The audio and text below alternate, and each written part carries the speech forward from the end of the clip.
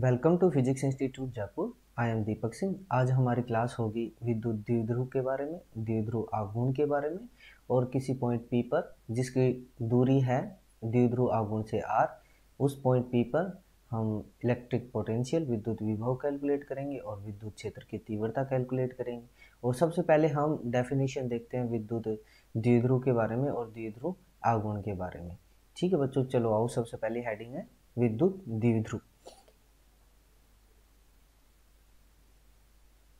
देखिए बच्चों, माना कि दो आवेश हैं, एक प्लस क्यू आवेश है तथा एक माइनस क्यू आवेश है। ये दोनों आवेश परिमाण में तो समान है बट इनकी जो डायरेक्शन है, वो अपोजिट है। मतलब एक प्लस क्यू है और एक माइनस क्यू है।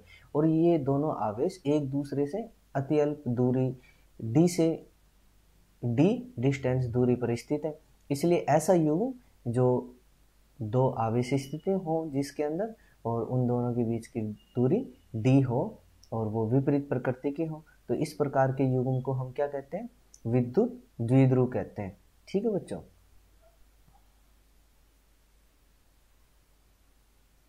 माना एक चार्ज क्या है? प्लस क्यू है और एक चार्ज कितना माइनस क्यू है। और इन दोनों के बीच की डिस्टेंस कितनी है? डी है। तो इस प्रकार के युग्म को हम विद्युत द्विध्रुव कहते हैं। अब देखिए बच्चों, हमारा नेक्स्ट टॉपिक है द्विध्रुव आघूर्ण। देखिए बच्चों, माना दो चार्ज हैं, एक प्लस क्यू चार्ज है, एक माइनस क्यू चार्ज है, और ये एक दूसरे से डी डिस्टेंस पर स्थित है। ठीक है बच्चों तो इन आवेशों के एक आवेश का परिमाण, कोई भी एक आवेश का परिमाण, तथा उन दोनों के बीच की दूरी के गुणनफल को हम द्विध्रुव आगुण कहते हैं। द्विध्रुव आगुण को P से रिप्रेजेंट करते हैं और P एक सदिश राशि है। तो P vector is equal to Q आवेश का परिमाण इनटू मल्टीप्लाई डिस्टेंस तो P is equal to Q D और P सदिश राशि है और इसका जो मात्रक होता है वो डिवाई होता है, ठीक है? तथा एक और मात्रक इसका कुलाम मीटर भी होता है।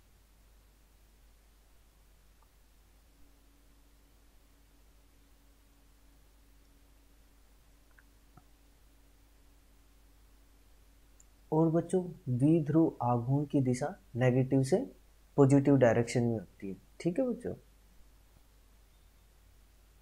अब देखिए बच्चों, हमारा नेक्स्ट टॉपिक है किसी द्विध्रुव आघूर्ण के कारण किसी बिंदु P पर विद्युत विभव।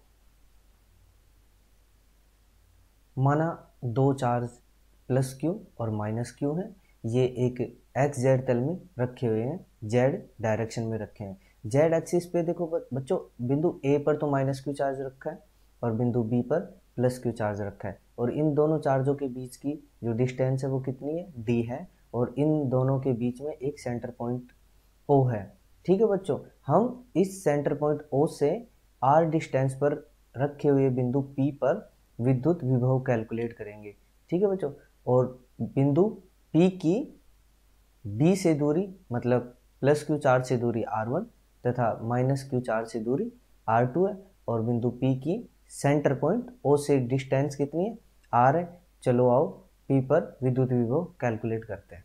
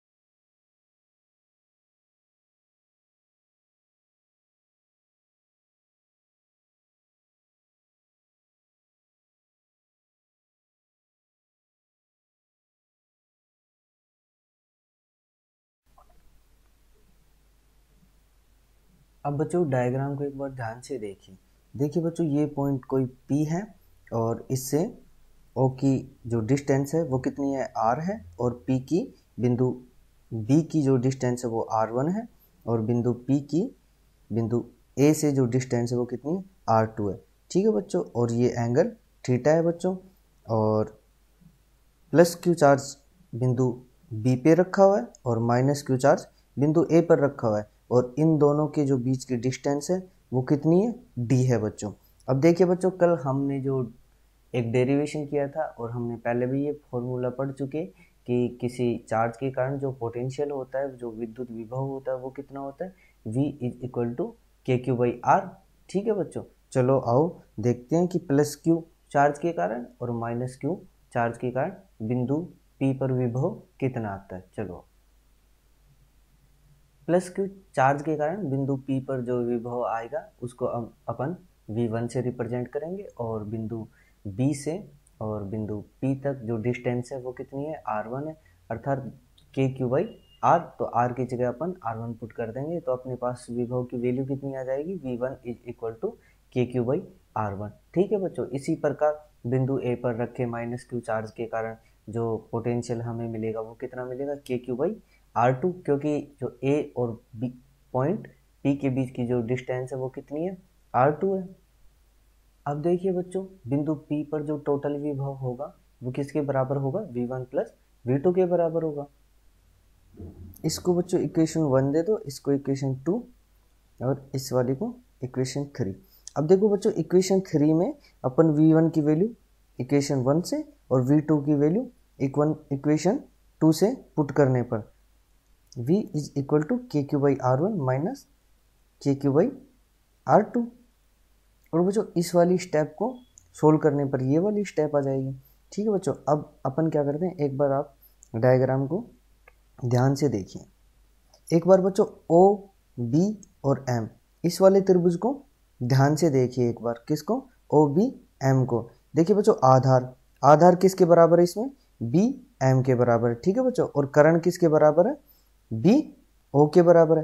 अतः आधार अपॉन करण मतलब B upon sorry B M upon B O किसके बराबर होगा? कोस थीटा के बराबर होगा। चलो आओ देखते हैं।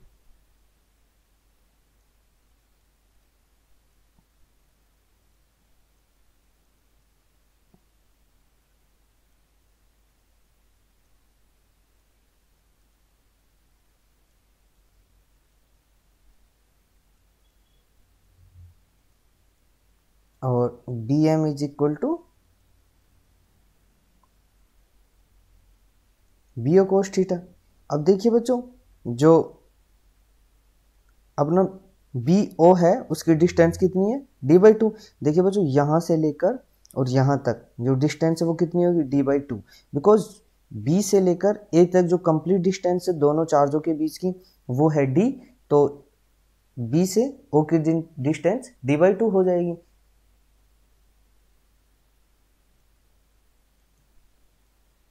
Then bm is equal to d by two cos theta बच्चों, इसको इक्वेशन नंबर दे देंगे फोर देखिए बच्चों, इसी प्रकार त्रिभुज ओ ए एल में।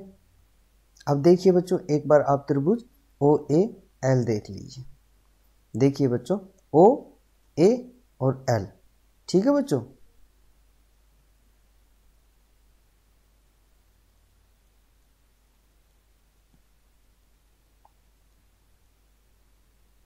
और बच्चों, ओ, ए की वैल्यू है, वो कितनी है? ये देखिए, ओ, ए की वैल्यू कितनी है? D by two.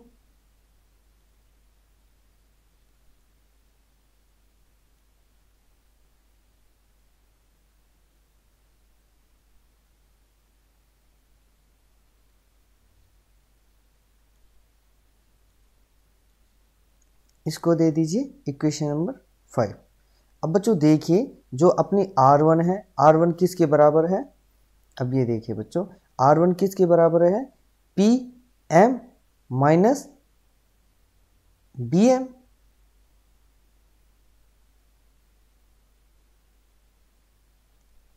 R one is equal to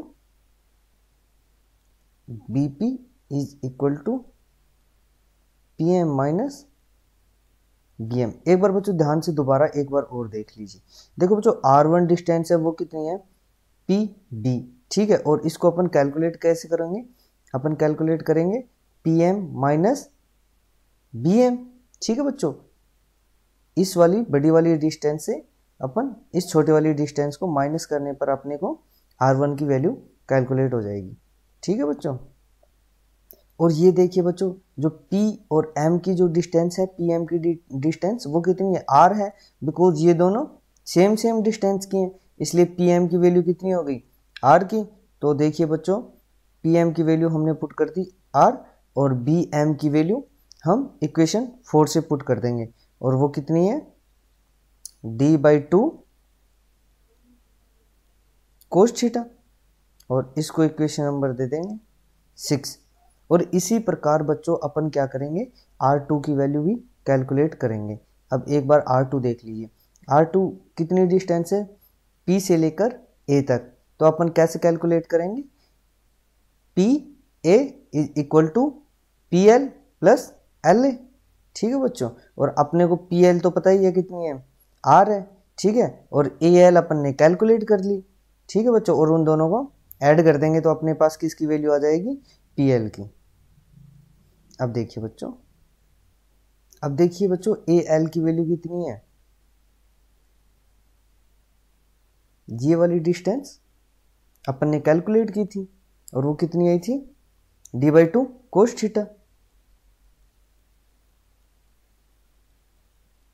plus L P की जो डिस्टेंस है वो कितनी है? आर ठीक है बच्चों, इसको इक्वेशन नंबर सेवन दे देते हैं। ठीक है बच्चों, अब जरा पीछे देखिए एक बार बच्चे। बच्चों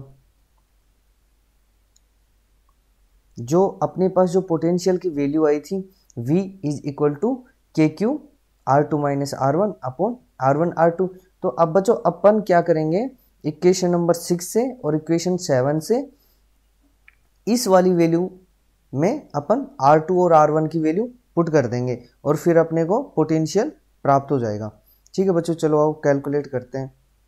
V is equal to K Q into D two by D by two cos theta plus R minus R plus D by two cos theta यहाँ पर बच्चों देखो आर से आर कैंसिल हो जाएगा।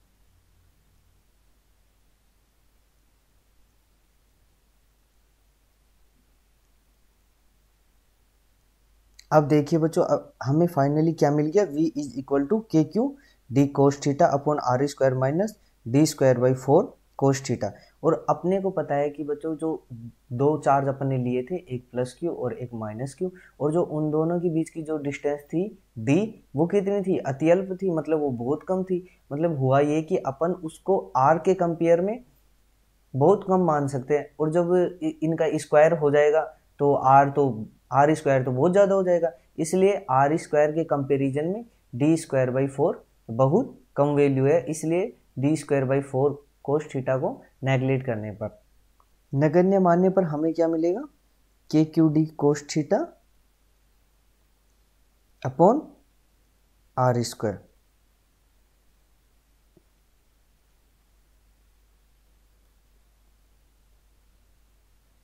और बच्चों, अपने द्विध्रुव आगुण की डेफिनेशन पढ़ी थी वो क्या थी? P is equal to Q into D तो अपन क्यू डी की जगह P पुट कर देंगे।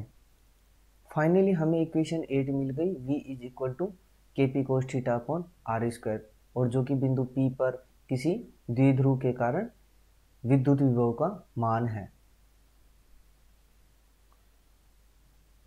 अब देखिए बच्चों, हम पोटेंशियल का एक फॉर्म और कैलकुलेट करते हैं। आप तो जानते ही होंगे बच्चों कि दो वेक्टर का जो डॉट प्रोडक्ट होता है वो कितना होता है? उन दोनों के मैग्नीट्यूड इनटू कोस थीटा के बराबर। ठीक है बच्चों? यदि हम आर वेक्टर की जगह आर वेक्टर अपॉन आर मतलब आर कैप लिख दें तब तब क्या आएगा? P R cos theta upon R तो आर से आर कैंसिल हो गया बच्चों। और ये क्या बन गया बच्चों? R cap P cos theta ठीक है बच्चों, अब अपन क्या करेंगे? पी कोस थीटा की वैल्यू इसमें पुट कर देंगे। अब देखिए बच्चों आगे। और बच्चों, यदि हम आर कैप को आर वेक्टर के रूप में चेंज करेंगे, तब इक्वेशन नाइन भी एक विद्युत विभव का ही मान है। किसी बिंदु पी पर विद्युत द्विध्रुव के कारण। आइए बच्चों, हम अब दो केस लेते हैं। एक बार theta is equal to zero और एक बार theta is equal to ninety ठीक है बच्चों? सबसे पहले case first when theta is equal to 0 then, cos 0 is equal to 1 और ये वाली value v is equal to K P cos theta upon R square में पुट करने पर। और अपन कोस ज़ीरो की वैल्यू वन वहाँ पे पुट करेंगे तो अपने को क्या मिलेगा? K P upon R square के second when theta is equal to 90 degree then cos 90 degree is equal to 0 और v is equal to zero अब देखिए बच्चों, हमें बिंदु P पर विद्युत विभव की वैल्यू प्राप्त हो गई। अब हमारा नेक्स्ट टॉपिक है किसी बिंदु P पर विद्युत द्विध्रुव के कारण इलेक्ट्रिक फ़ील्ड की इंटेंसिटी मतलब विद्युत क्षेत्र की तीव्रता। देखिए बच्चों, द्विध्रुव के कारण किसी बिंदु P पर विभव अभी अपन ने पिछले डेरिवेशन में कैलकुलेट किया था और वो कितना था? V is equal to K P cos theta upon R square अब देखिए बच्चों, कि अपन ने जब ग्रेडियंट की डेफिनेशन की थी, वहाँ पे अपन ने एक रिलेशन कैलकुलेट किया था E is equal to minus gradient V मतलब E is equal to minus del V ठीक है बच्चों, अब देखिए। और देखिए बच्चों, ये वाला क्या है? ये डेल है, और डेल की पोलर कोऑर्डिनेट में जो वैल्यू होती है, वो कितनी होती है? E vector is equal to minus R cap del by del R plus theta cap upon R del by del theta ठीक है बच्चों? अब इसको दे देंगे इक्वेशन नंबर टू और समीकरण दो में एक से मान रखने पर। चूँकि इलेक्ट्रिक फ़ील्ड एक सदिश क्षेत्र है इसलिए इसके पास डायरेक्शन भी होगी और इसको हम इस प्रकार रिप्रेजेंट करेंगे कि E is equal to E R R cap plus E theta theta cap और यहाँ पे जो ई e आर है, उसकी वैल्यू है E R is equal to two K P cos theta upon R square इसको दे देते हैं इक्वेशन नंबर थ्री और इसी प्रकार अपन क्या करेंगे? ई e थीटा की वैल्यू कैलकुलेट करेंगे और ई e थीटा की वैल्यू क्या होगी? इस वाले का डेरिवेटिव किसके रेस्पेक्ट में? थीटा के रेस्पेक्ट में। चलो और देखते हैं। E theta is equal to K P sine theta upon R cube अपने को ई e आर की भी वैल्यू पता चल गई और ई थीटा की भी वैल्यू पता चल गई। ठीक है बच्चों? तो ई आर की वैल्यू इक्वेशन थ्री और ई थीटा की वैल्यू इक्वेशन फोर तो अपन ई e आर और ई e थीटा की वैल्यू इस वाली इक्वेशन में पुट कर देंगे, जो कि E vector is equal to E R R cap plus E theta theta cap ठीक है बच्चों, और पुट करने पर हमें क्या मिलेगा फाइनली ठीक है बच्चों के पी अपॉन आर क्यू दोनों में कॉमन आ रहा था, इसलिए इनको बाहर निकालने पर। ठीक है बच्चों, अब अगर विद्युत और यदि विद्युत क्षेत्र की तीव्रता का जो अगर परिमाण कैलकुलेट करें तो E is equal to under root E R का स्क्वायर प्लस ई थीटा का स्क्वायर अब देखिए बच्चों, ये वाली टर्म तो अपन क्या कर लेते हैं? बाहर ले लेते हैं। तो ये वाली कितनी बचेगी? के पी अपॉन आर क्यूब बचेगी। ठीक है? और इसका क्या बचेगा? फोर इस, four cos square theta plus sine square theta और इसकी पावर वन बाई टू अब देखिए बच्चों, ये जो फोर कोस स्क्वायर थीटा है, इसमें से एक कोस स्क्वायर थीटा अलग कर लेंगे और थ्री कोस स्क्वायर थीटा अलग कर लेंगे। और जो अकेला cos square theta plus sine square theta है, वो क्या बन जाएगा? वन बन जाएगा। तो अपने को मिलेगा क्या? K P upon R cube three cos square theta plus one की पावर वन बाई टू। बच्चों, जो अपने को इक्वेशन फाइव मिली है, वो क्या है? इलेक्ट्रिक फ़ील्ड की इंटेंसिटी और उसका परिमाण है ये।